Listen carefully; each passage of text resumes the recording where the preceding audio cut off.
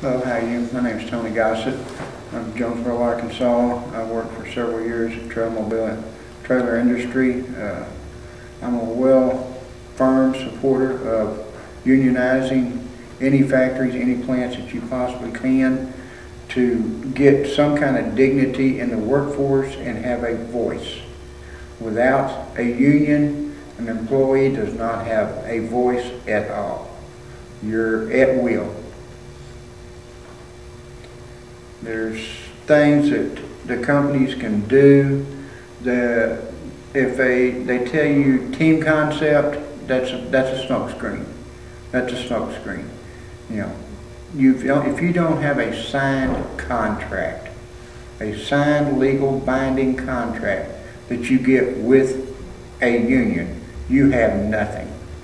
You have nothing. The, the companies have total control.